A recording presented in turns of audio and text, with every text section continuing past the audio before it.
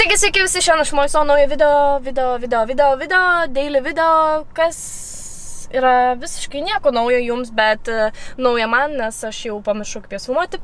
Edvinas prisipirko visokių nesąmonių ant uh, kameros. Čia laikiklis, ekraniukas, mikrofonas ir man su viena ranka yra žiauriai sunku laikyti toks jausmas, kad sveria kokius 5 kg. Tai jo, mes šiandien uh, labai vieną gerą dalyką norim jums parodyti, tai tiesiog nieko nelauksim jaučiu ir greitai persikelsim ten, nes mes turim labai gerą, fainą tokią žinią pasidalinti, nu, žodžiu, pamatysit vėliau. Let's go, nes aš tikrai nenulaikysiu kameros, Edvinas gaus mane filmuoti. Žinot, kokią problemą pastebėjau? Visą laiką, kol dabar šnekėjau, net nežiūrėjau į objektyvą, o žiūrėjau ekraniuką. E, ir tai mes kalbėjom su Edvinu, kad tai bus didelė problema, kad mes žiūrėsim į ekraniuką, o ne į objektyvą. Let's go. Tai žodžiu, atvažiavam į savo hausą, tokį mini klub mūsų. Realiai Edvinas čia beveik viską įrengė. Tai kol kas dar per daugiausiai nieko nepasidarėm, nes čia buvo toks ilgas projektas, kuris vos ne metus truko. Ir, žodžiu, labai laukiam, kada čia galėsim normaliai įsikurti pilnai, nes dar šiek tiek trūksta detalių, žinot, visokių. Bet, man atrodo, čia praleisim didžiąją laiko dalį, kurdami daug video jums ir ne tik kurdami, bet ir montuodami ir viską, žodžiu, darydami. Šiaip ne viską esam susivežę, čia tik tais uh, netikėtai užsukom, norėjom aplankyti. Žiauriai, žiauriai, žiauriai, žiauriai laukiam, kada galėsim pradėti filmuoti. Mes realiai nebe, net nebeturim ko laukti, nes vasara atėjo, kaip ir jums sakiau. Ir kadangi prasidėjo vasara, tai reiškia, bus daug mūsų vlogų. Nu, žodžiu, pamatysit, daug projektų laukia labai didelių šią vasarą, tai uh, sekite mumis ir sužinosite. Tai žodžiu, kaip matote, mes čia turime mikrofoniuką, turime iMac'ą, klaviatūrą, pelytę, labai daug dalykų. Svarbiausia yra gelytė, akcentas. E, Džibėlas, turime šiukšlinę. Aš manau, kad daug kas storiuose pamatysit mano Instagramą. Tai let's go. Follovinti mane Instagram, uh, kurį matote čia ekrane. Tada dum dum dum dum surepavau. Mes čia turim ir šildymą, nors mums vasarą, kai žinau, jo prireiks, bet mes čia turim šildymuką tokį. E, dar turim paveikslą labai fainą ten. Šiaip ne aš viską rinkau čia, tai žodžiu, jeigu nepatinka, tai visi kaltinimai Edvinui. Um, I can. Šiaip ką aš išneku, jums geriau tiesiog bus pamatyti viską, ką mes sukursim. Tiesiog norėjom jums pranešti, kad turim šiokį tokį clubhouse, kurį vėliau išsirinksim dar labiau ir mes jums, žinoma, parodysim update'us. Važiuojam toliau, nežinau net kur, bet žodžiu, vaikų diena, let's go. Kodėl taip tamsu? It's very dark here. Gal visgi palaidais gražiau atrodo. Bet šitaip ir na, žiūri. Tai man ten nusprendė būti palaidais. O atsiprašau, net čia žiūri, nes ekraniuką esam tai viršų užsidėję. Ką? Video? Kad dabar šneki kamerą. Jo, jo. Jo, filmuoju rimtai, žiūrėk geras. Deima per daug blūrė. O, mato, žiūrėk, kokia aplinka graži, kokia deimantė graži. Jegorov, Jegorov su savo rovinė turkė. O kaip gražiai atrodo palka. Kiek nulaikysiu kamerą, tiek nulaikysiu, bet esmė tokia, kad atvažiavom prie jūros, kaip netikėta. Let's go! Mūsų dienos taip ir realiai eina. Arba mes sėdim mašinoje, arba mes kažkur, nu šiaip netaip išeinam. Bet čia kartą mes einam.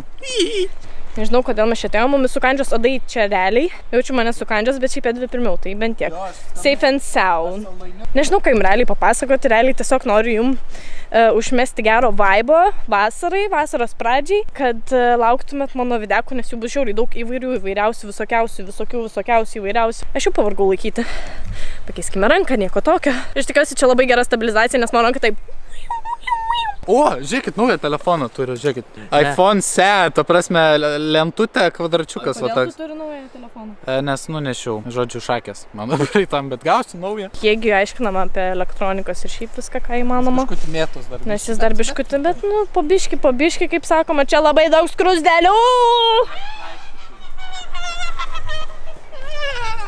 Golden hour. Šiaip juokauju. Aš einu pasivaikščioti nuo jų, nes jie filmuos tik toką ir aš nežinau, ką jie ten filmuos. Bet aš nenusiteikus tik tokam šiandieną. Žinot, e, tą struggle problemą, kai tu esi su kėdais. Nežinau, kaip jums čia nufilmuoti. Žodžiu, kai esi su kėdais ir eini per smėlį. Tai reiškia, kad mano patai bus pilni smėlio. Per trukėlę minutės, nes šiauriai sunku laikyti šitą kamerą. Todėl pasimsiu mažesnę, kad e, būtų daily vlogams ir tokiems kelioniniams tripams ar kažkam, o šitą paliks e, tokiam studijiniam videkam. Tikiuosi supratot. O žiūrėkit, kiragiukai.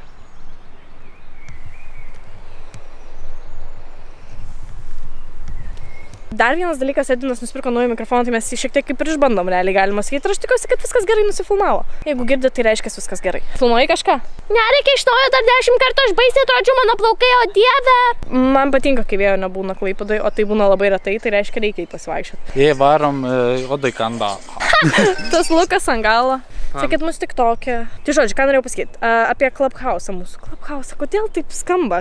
Kaip visi tie hype house'ai. Turėjau omeny, kad tiesiog kažkaip jį užvadinsim, nežinau, reikia mums tiesiog kažkokio pavadinimukso. Aš iš tikrųjų labai laukiu, kad turėsiu savo apartment, loftą ar dar kažką, Vilniai žino ką. Ir tada tiesiog galėsim viską absoliučiai filmuoti. Excuse me? Tu čia mumis filmuoji? Jo. Gerai. Dabar vyksta fotosesija. Uh, laukite Jagoro nuotraukos jo Instagrame. Aš girdžiu viską. Negysi. Reikia šiek tiek e, grino oro įkvėpti į priekį, kaip sakoma. Dabar aš parodysiu, kaip jėgis pasuoja nuotraukose. Dabar jeigu pažiūrėsite jo profilį, tai primyšit kelnes, nes tikrai taip realiai tobulai atkopijau, manau. Žinot ką, aš dar pagalvojau, kad uh, ne veltui filmuosiu visokius video, kadangi jūs galėsite atsirinkti, galbūt jums kažkas tikrai yra netinkama, jums galbūt kažkokie video nepatinka, ar šiaip kažkokios temos jūsų nedomina, tai jūs galėsite jų nežiūrėti, tiesiog žiūrėti tai, kas jums patinka. O šiaip ačiū labai visiems už palaikymą, ačiū labai už tik tokią palaikymą, šiaip ačiū už visą palaikymą, nepamirškit manęs ir Instagram'e sekti, jeigu nematot mano video arba mano TikTok'ų, visą laiką galite stebėti mano dieną Instagram'e. Aš nebegaliu daugiau su šitą kamerą. Va, fotkinas, va. Baigtų, aš tikiuosi, tu šito nekelsi. Tai ne aš keliu Deima kelią. Deima, tu prašau nekelk, kur aš vaipaus. Kodėl Deimantės striukė yra padėta va tenai? Man Deimantė yra šitą vietą. Kažkas negerai. Jo, you can really dance. Meniška foto su lapais. Tai čia yra nuostabusis mūsų smėlis. E, Čia yra nuostabioji mūsų maldyviška jūra tave Deimantė Vaikiūtė. Tiesiai iš pajūrio. Žinai kaip tai praganas tai. Reportažas baigtas. kaip be būtų keista, jau visiškai nekeista, bet mes atvažiavam pavalgyti McDonald's ir taip baigėsi mūsų diena. Žaidžiam PUBG, ta prasme, su šitu. Žaisim PUBG, nu ta prasme žiauriai, professional. Palaukit, reikia apsukti. Mam. Tai realiai grįžom namo jau, a, nieko per daug nenuveikėm, nes ir taip pusę dienos nefilmavau, galima sakyti, kadangi buvau su šeima ir bla bla bla. Bet video gale aš jums noriu tiesiog tokį mini holą parodyti, kokius fainus rubelius esu užsisakius. Paliksiu nuorodas jums po video aprašymą, galėsite ten iš karto užėję matyti, kur yra rūbas, kiek jis kainuoja ir kaip jį įsigyti ir taip toliau. Tai kadangi vasara artėja, aš turiu labai labai fainų tokių dalykėlių pasiemus ir noriu su jumis jais pasidalinti, nes uh, jau mačiau, kad uh, manęs daug kas klausia, kur pirkau striukytę ar dar kažką, tai iš karto pasidalinsiu ir bus jums daug paprasčiau ir galbūt aš jums padėsiu išsirinkti kažkokius rūbus ir jūs užsakysit juos vasarai, kadangi jau yra vasara, bet jinai dar tik įsibėgėja. Tai visi šitie rūbai yra išeina, jūs manęs dažnai klausite, iš kur aš perku rūbus, tai dažniausiai būna arba berška, arba tokie internetiniai puslapiai kaip šeinas. Tai turiu čia tokią maikutę labai labai fainą, šiaip realiai dabar netgi yra trendas šitokių visokių spalvotų dalykų. Čia gal biški šiek tiek kitaip, gal ir taip pat padaryta. Čia yra tokie pakarpimai ant galo. Šiaip maikutė yra labai faina, tokia švelni, a, malonu užsidėti ją. Čia yra užrašyta, man atrodo, super ant jos. E, nežinau, man užrašai per daug nereiškia, man tiesiog jeigu patinka maikutė, aš ją visą laiką pasiemu, jinai yra tokia realiai kaip ir kropinė gaunas. O šiaip tokia, nu paprasta, ką aš galiu apie ją pasakyti, šiaip žiauriai faina, nes vasarą norisi ryškių spalvų. Tai dar aš turiu užsisakiusi tokią uh, labai fainą šiaip maikutę, labiau gal bodis, nes jinai yra štai tokia, šiaip, nu čia yra jos viršus, kaklas. Tai čia yra tokie šniureliai, šiaip man labai labai tokie dalykėliai patinka ir aš senai jau norėjau tokį, va, turėti rūbą, va, kad man kažkas čia skraidytų. Ir jo, čia yra kaip bodis, nes jis va čia susisega apačioj. Ir dar aš užsisakiau dvi striukytės, tokias grinai vasariškas, kad tik jeigu vėjukas koks papus, kad aš galėčiau tiesiog užsidėti ir nebūčiau trumpam rankom. Labai daug klausimų esu susilaukus dėl šių striukių. Tai čia yra mano viena mėgstamiausių striukyčių, jinai man labiau primena aiškus kažkokius ralius, nežinau kodėl. Tai šiaip labai faina, aš mėgstu geltoną spalvą, vieną mėgstamiausių spalvų mano, tai man iškart prilipo, aš norėjau kažko ryškaus, aš nebenoriu juodos tiek daug, gerai žinau, kad šitam rūbė yra juodos, bet ne tiek daug, kiek geltonos realiai. Tai čia juoda tik detalė. Tai va, čia ant rankovių yra kažkas užrašyta, aš niekada užrašo nes... užrašų neskaitau. Nu, žodžiu, nežinau, kaip jums čia parodyti. Nu, žodžiu, šiaip labai faina vasarai užsimesti ir turėti kažką tokio čiotko. Gražius Instagram nuotraukos šeinusi. Ir dar vienas triukė, dėl kurios sulaukiu pakankamai daug klausimų, tai yra žalia. Aš nežinau, kaip jums parodyti. Nu, žodžiu, čia viena pusė, va, vėlgi juodos kažkiek. Tokia žalia, čia galia viskas žalia. Um, čia yra kažkas užrašyta.